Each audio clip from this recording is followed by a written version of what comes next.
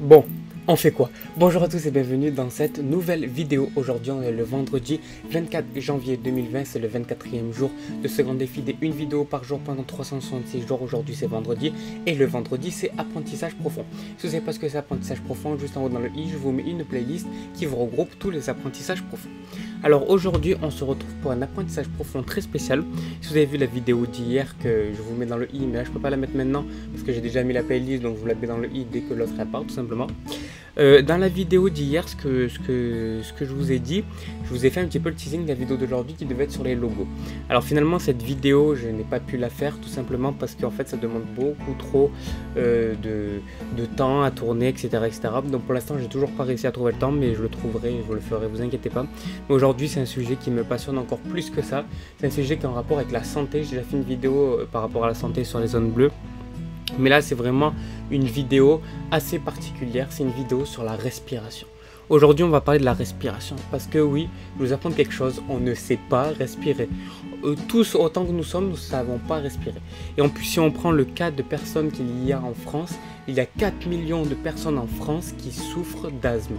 Vous savez, l'asthme, c'est la maladie qui fait... Enfin, c'est une pathologie, c'est pas vraiment en termes de maladie, on va parler.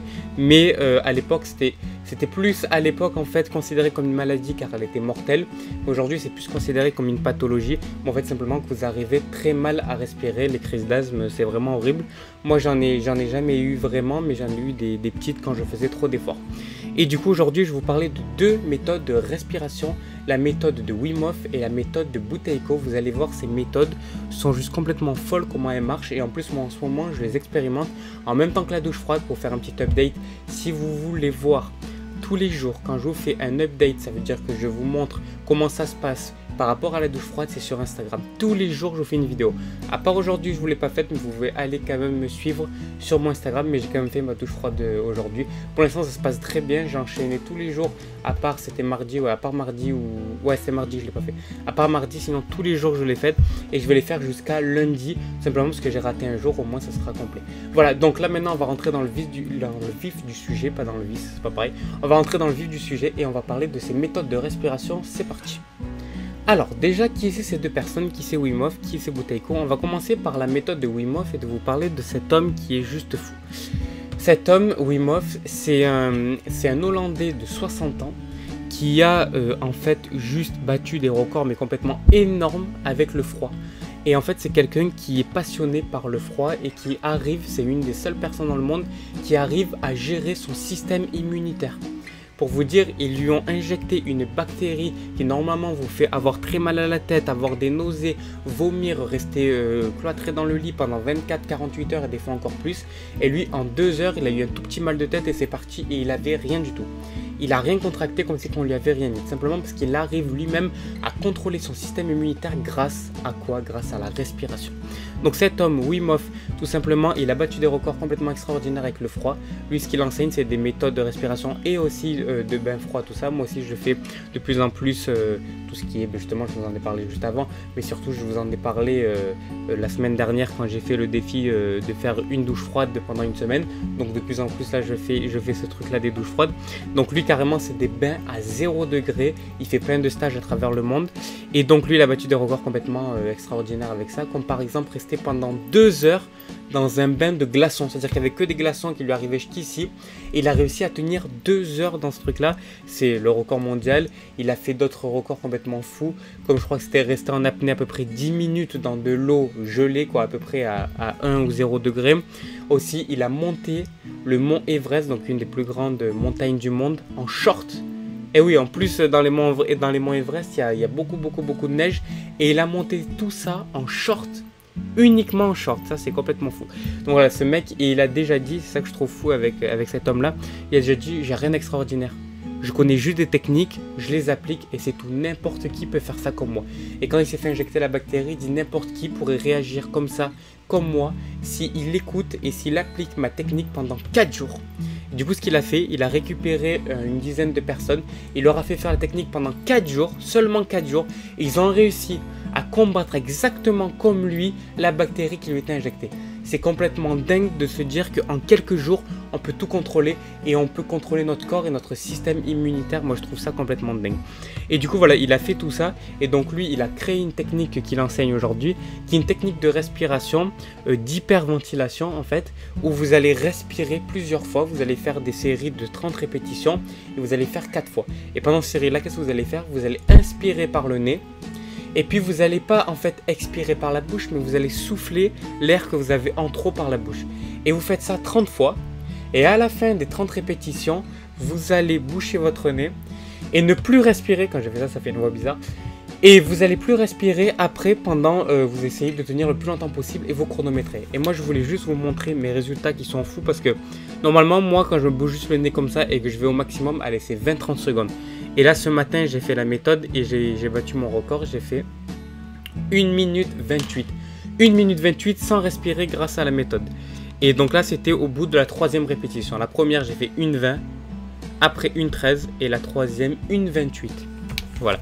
Donc c'est complètement énorme, même vous, vous allez vous choquer tellement que moi au tout début j'avais très peur, je me suis dit là c'est bizarre, j'ai pas envie de respirer, je me sens bien et tout, c'est complètement fou. Et vous faites ça et une fois que vous avez fini de respirer, après vous soufflez votre air et après vous recommencez, vous faites ça 4 fois, 30 répétitions 4 fois. Donc c'est simple, c'est comme ça, on prend une, une inspiration et on ressouffle par la bouche mais on souffle pas, on laisse sortir l'air.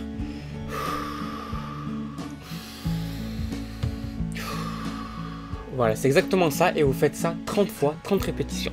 N'empêche, si ça vous intéresse vraiment la méthode et si vous voulez vous la faire enseigner directement par Wim je vous mets dans la description, comme d'habitude, le lien pour aller voir la vidéo sur YouTube de Wim qui dure 10 minutes et qui vous explique étape par étape comment faire cette méthode. Si vous parlez pas anglais, vous inquiétez pas, il y a plus de 30 sous-titres dans 30 langues différentes et forcément le français, donc vous pouvez traduire ça en français, vous inquiétez pas, moi aussi je comprends pas l'anglais et j'ai été sauvé quand j'ai vu qu'il y avait les, sous-titres en français et il vous explique mais très bien la méthode de A à Z, pas à pas et il vous montre un peu comment faire, etc. Les entre parenthèses dangers qu'il peut y avoir quand il y a trop d'hyperventilation. Voilà, donc ça c'est la première méthode, c'est la méthode de Wim mais pour moi qui a marché mais trop bien en ce moment, elle marche super bien. J'arrive encore mieux à respirer, c'est vraiment c'est une des méthodes pour l'instant pour moi qui a marché le mieux avec les douches froides. Franchement, ça marche super bien. Je vous conseille de la faire et de toute façon, allez voir la vidéo de Wim Hof si vous voulez voir un peu euh, tout ce qui est conseillé ou pas conseillé de faire par rapport à, votre, à votre niveau de santé. Donc voilà, je vous mets la vidéo dans la description et maintenant on passe à la deuxième méthode qui est la méthode Bouteiko. Alors là, la méthode Bouteiko, déjà, qui est ce Bouteiko Constantin Bouteiko, qui était un chercheur scientifique, un docteur, euh, qui est né en 1927 en Russie. Donc c'était un russe et il est mort en 2003 d'une hypertension maligne. Et du coup, lui, il avait, il, a, il créé une méthode. Et toute sa vie, en fait, c'est un chercheur scientifique. Donc, qu'est-ce qu'il a fait? Il a, commencé sa, il a commencé sa carrière très simplement en observant des patients qui étaient en phase terminale, donc qui allaient mourir. Et il analysait et il notait tout leur rythme de respiration. Il a fait ça sur des centaines et centaines de patients. Et après, il était capable de dire à la seconde et à la minute près quand un patient allait mourir tout simplement en analysant et euh, en comprenant comment ça marchait les cycles de respiration. Donc ça, je trouve ça complètement fou. Il a commencé à faire ça et puis après, il a commencé à aller dans certains instituts, etc. Et puis euh, lui, en fait, il souffrait justement, comme j'ai dit, d'hypertension maligne et notamment, il souffrait de grosses crises d'asthme. Et du coup, un jour, il s'est dit, euh, bon, si cette santé que j'ai aujourd'hui, c'est à cause de moi, si j'ai de l'hypertension et tout. Donc ce que je vais faire, je vais, essayer de comprendre pourquoi. Et lui qui avait déjà euh, donc euh, étudié tout ce qui était la respiration et tout, du coup il s'est dit là je vais faire quelque chose qui est dans cette lignée là. Du coup, il, prenait à chaque fois des grandes respirations et il ressoufflait, mais fort, comme je vous ai montré avec les méthodes Wim. Il faisait de l'hyperventilation. Et cette hyperventilation, c'est ce qui lui faisait toutes ces douleurs aux reins, à la tête et au cœur. Parce que l'hypertension maligne, c'est ça, c'est vous avez mal un peu dans tous ces organes-là et ça peut être mortel. Et du coup, il avait, il avait tout ça, il avait le cœur, les reins et tout. Et il a vu que quand il respirait tout doucement, il avait plus. C'est bizarre. Puis après, il a repris à respirer fort et hop là, ça revenait. Et puis après, il a encore arrêté. Il a dit, mais c'est bizarre. Bon, et sur ça, il s'est basé. Il a dit, alors là, il y a quelque chose à creuser. Bon, bien sûr, il va pas se baser sur ça pour faire euh, une étude scientifique. Il va pas dire, bon voilà, moi j'ai fait ça, alors sur moi ça marche. Non. Du coup, après, il est allé plus loin. Il s'est entouré de plein de, de, plein de médecins, d'à peu près 10 médecins. Et ils ont fait plein d'études scientifiques ensemble. Et finalement, ils ont prouvé que sa technique était valable à 100%. Ça marchait dans 100% des cas. Mais un des professeurs qui était euh, un professeur d'université spéciale, lui, il a dit non, ce que tu fais, c'est pas bien, ça marche pas, n'importe quoi. Forcément, il voulait pas avouer qu'on pouvait soigner euh, des patients euh, juste en respirant, des patients de l'asthme, juste avec une respiration. Ils se sont dit, c'est juste pas possible. Alors, du coup, c'est pour ça qu'ils lui ont fait fermer carrément son institut. Et puis, quelques années plus tard, le ministre le ministre de Santé russe, il a dit non, je veux que vous faites des études scientifiques, c'est moi qui va regarder avec, mes équipes scientifiques et on va valider. finalement, ils ont validé, ils ont vu que cette technique était hyper efficace. Et pour vous dire, il n'y a jamais eu ça. Franchement, dans le monde scientifique, c'est rare. Il a eu 100% de réussite sur à, peu près, sur à peu près 1000 patients asthmatiques juste en changeant ça. Après, ce qu'il a dit, c'est que bien sûr, c'est pas que la respiration qui joue, il y a aussi l'alimentation, le mode de vie, le stress, etc. Mais si juste déjà vous changez la respiration pour ce qui est des crises d'asthme, ben déjà ça marche et ça fait des résultats complètement fous. Ça vous fait arrêter carrément vos crises d'asthme. Et pour vous dire, lui, pour son hypertension maligne, normalement, il devait mourir. Enfin, il lui restait plus que 12 mois à vivre en 1950 et il a vécu jusqu'en 2003. Donc, pour vous dire comment ça lui a allongé la vie. Et du coup, c'est quoi cette méthode? Cette méthode est très simple. Et en fait, c'est quoi cette méthode? Cette méthode est très simple. C'est tout simplement qu'il lui, il faut arrêter d'hyperventiler. Parce que quand on hyperventile, ça veut dire quoi? Veut dire qu'on respire fort. Et du coup, on fait rentrer trop euh, de CO2 dans nos poumons. Il reste stagné là. Et surtout qu'en fait, on a peut-être une capacité de prendre l'air comme ça. Et nous, on donne tout ça d'air. Alors forcément, nos poumons, ils peuvent pas récupérer tout ça. Et c'est ça qui crée un peu tous les déséquilibres. C'est à peu près dans ce que j'ai compris, c'est ça. Et du coup, ce qui fait que à chaque fois, vous, vous allez faire en fait gonfler vos poumons pour rien parce qu'ils devraient juste récupérer ça. Et du coup, ça permet de moins les faire forcer. Et du coup, en tout cas, de toute façon, dans la description, comme d'habitude, je vous mets tous les liens pour aller vous renseigner par vous-même et pour pouvoir comprendre euh, plus facilement.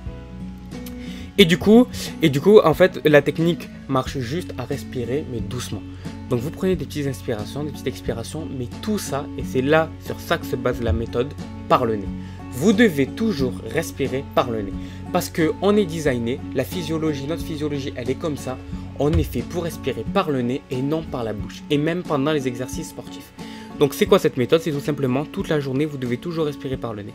Et quand il y a des crises d'asthme ou des ou des vous savez que vous êtes stressé ou quoi, il faut que vous respirez doucement, pas faire des vous savez comment on vous l'apprend, on vous dit ça vous calme et tout. Non, il faut faire ces techniques-là, c'est encore plus efficace. Après, vous faites les techniques que vous voulez, mais celle-là, elle est encore plus efficace que l'hyperventilation. Mais du coup, on fait quoi? On fait Wim Hof, on fait Buteyko, les deux méthodes sont un peu contradictoires. Non, elles sont pas contradictoires, elles vont ensemble. Celle de Buteyko, c'est une méthode à mettre en place tous les jours. Tous les jours, il faudrait qu'on respire que par le nez, le soir et tout. Il y a même, il y a même un truc que beaucoup de personnes font pour dormir bien il y a une vidéo de Pierre Dufresne, que je vous mets juste dans la description que j'ai regardé hier. Lui, euh, il montrait comment dormir euh, le mieux possible. Dormir en même pas, je crois que c'était 8 heures de sommeil, mais genre parfait, quoi. Vous allez dormir nickel. il s'est mis un scotch sur la bouche il respirait uniquement par le nez. Mais il a dormi trop bien. Et pareil aussi également quand il fait des exercices sportifs, il se bouche la, il se, il se met un scotch sur la bouche pour plus respirer par la bouche et uniquement par le nez. Mais ces méthodes mais sont juste ultra bluffantes et euh, c'est juste génial comment ça, comment ça fonctionne. Et également, Buteiko a mis une méthode en place pour pouvoir savoir si vous avez des problèmes de respiration ou non. C'est très simple. Vous prenez une petite inspiration par le nez, vraiment petite, et vous vous expirez. Et à l'expiration, vous bouchez votre nez, vous mettez un chronomètre et vous regardez combien de secondes euh, vous allez lâcher. Et quand vous lâchez, vous lâchez dès que vous manquez un tout petit peu d'air, vous lâchez. Il ne faut pas que, dès que vous lâchez, vous êtes... Non, non, non. Il faut que dès que vous avez... Dès qu'il vous, il vous manque un tout petit peu d'air, vous lâchez et vous regardez le temps. Si vous êtes entre 0 et 10 secondes, si vous avez des gros problèmes de respiration et que vous avez un asthme assez sévère. Entre 10 et 20, là c'est que vous avez euh, des problèmes de respiration, mais moins aigus, et c'est plus quand vous faites des efforts que vous avez ces problèmes-là. Entre 20 et 40, vous n'avez pas trop de problèmes, mais vous savez mal respirer, et plus de 40, et là vous avez une respiration qui est juste parfaite. Moi j'ai fait le, test sur moi personnellement, je suis entre 10 et 20, parce que moi j'ai souvent quand je fais trop d'efforts ou quoi, que la respiration elle s'emballe et tout ça, donc j'ai vu, moi je suis entre 10 et 20, et ces techniques vous permettent en fait, je crois c'est toutes les 4 semaines, toutes les 4 semaines, donc tous les mois, à peu près de vous augmenter de 4 secondes vous augmentez votre respiration de 4 secondes. Donc imaginez en un an qu'on pouvait retrouver une, grande euh, respiration. Donc voilà un peu pour, euh, toutes ces méthodes. Et euh, moi je vous mets tous les liens dans la description comme d'habitude. J'espère que cet apprentissage profond un peu spécial. Parce que normalement l'apprentissage profond on apprend vraiment quelque chose de concret. Et là c'était plus au niveau de la santé, normalement, je vous apprends le code, etc. Et là, c'était une vidéo sur la santé. Je vous apprenais comment respirer parce qu'on arrive mal à respirer. Et j'espère que grâce à cette vidéo, maintenant, vous saurez mieux respirer et vous penserez toujours quand vous respirez par la bouche ou que vous respirez trop profondément, vous direz Ah, là, je vais calmer un petit peu le jeu. Voilà, merci à tous d'avoir regardé cette vidéo. Mettez un petit pouce bleu si ce type de vidéo vous a plu ou si simplement cette vidéo vous a plu. Mettez dans les commentaires les prochaines vidéos que vous voulez que je fasse sur les sujets que vous voulez que j'aborde. Et nous, on se dit à demain, car demain c'est samedi et le samedi c'est nostalgique. Allez, ciao et surtout abonnez-vous. Allez, ciao